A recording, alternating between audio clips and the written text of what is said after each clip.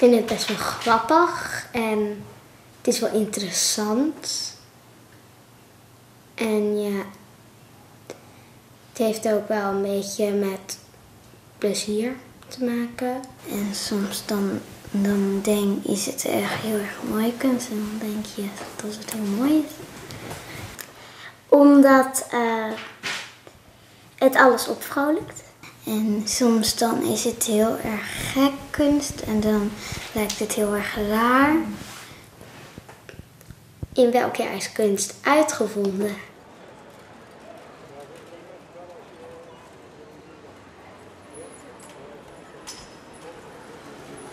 Toen we begonnen functioneerde kunst gewoon zo in de maatschappij zoals het functioneerde. Er waren mensen die daar niet zoveel mee hadden, maar iedereen nam maar een beetje aan dat het wel belangrijk was. En je merkt dat de afgelopen jaren dat niet meer zo is. Opeens worden er vragen gesteld die heel lang niet gesteld zijn. Ehm, en de, het culturele veld heeft daar ontzettend veel moeite mee om, eh, om daar een antwoord op te geven. Simpelweg omdat die vragen nog lang niet gesteld zijn. En we missen eigenlijk die, die, ja, de, mediation tussen de kunst en het publiek. Dus we moeten er gewoon eventjes aan wennen dat dat er is. En dan vinden ze het niet meer zo vreemd.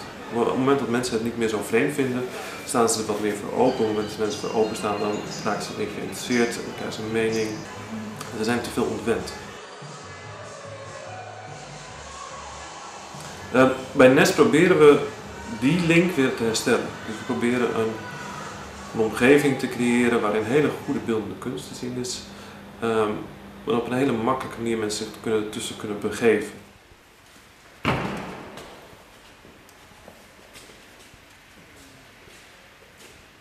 De tentoonstelling gaat over uh, kunstenaars die het hebben over kunst zelf. Deze kunstenaars die gaan eigenlijk in op hoe kunst functioneert. Dus om in te gaan op, uh, ja, op de status van kunst. Ook omdat veel mensen daar natuurlijk zeker nu aan twijfelen van ja, hoe belangrijk is dat of wat is de waarde daar eigenlijk van? Until a month ago it was in it was actually in the public domain. So it was functioning as a play park, but now it's a priceless piece of art. Ik denk dat je in al die werken, alle werken in de tentoonstelling, zie je op een of andere manier de, de afstand tussen het gepresenteerde en het publiek terug. Uh, de kunstenaar reflecteert op van dit, dit is de wereld waarbinnen ik functioneer. You know, there is a lot of irreverence with what we make. Sometimes that'll be audience will be able to access that irreverence and maybe see the humour in the work, sometimes they won't. But for us that kind of makes it even funnier, you know, because misinterpretations can be quite funny. So it just came to my mind to put together like religious rituals with uh, with art. While sometimes religion is kind of praised or you know, and, and fine art is seen as something strange. So yeah, on the basis of that I made a video. Well, I think I'm very or mostly busy trying to understand what art is, and then like sometimes this relation between understanding art and art within daily life.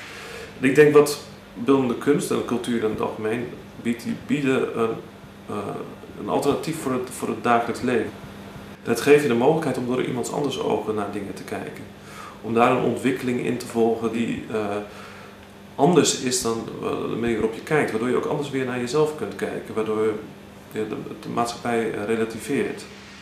Art, it's kind of, it's also a human construct, but it's kind of a space in which you can question kind of all the rest.